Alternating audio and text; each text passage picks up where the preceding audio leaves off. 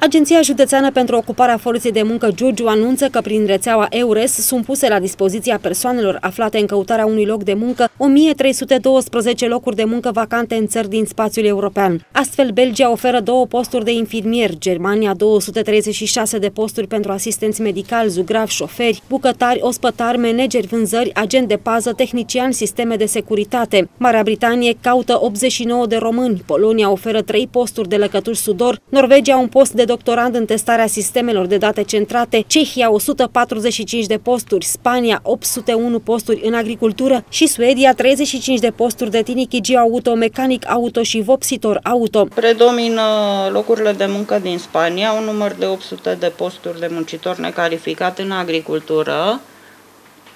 Din nefericire, angajatorul nu are posibilitatea cazării solicitanților bărbați.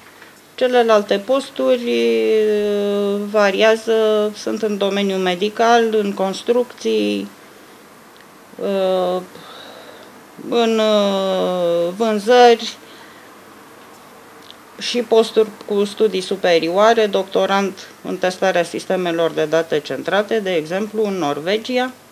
Ceea ce este esențial este că solicitanții, în primul rând, trebuie să aibă calificarea Uh, necesară ocupării postului și să vorbească o limbă de circulație europeană, cu excepția Germaniei, unde este obligatorie limba germană, în toate celelalte țări se solicită cunoașterea limbii engleze, dacă nu a limbii țării respective. Cei interesați de oferta de muncă din străinătate pot obține informații suplimentare de la consilierul EURES din cadrul Agenției Județene pentru Ocuparea Forței de Muncă Giurgiu. Avem uh, și de altfel sunt publicate și pe site, datele angajatorului, modul cum poate fi contactat, cum se trimite CV-ul și de asemenea pentru persoanele care au nevoie, putem să le oferim îndrumări despre modul de completare a CV-ului, să verificăm documentele dacă sunt în regulă, Uh, există situații în care modelul de CV european diferă puțin de la țară la țară. Există un standard, dar sunt țări care au anumite preferințe în modul de redactare a CV-ului. În sensul ăsta oferim informații suplimentare în plus față de ce este pe site.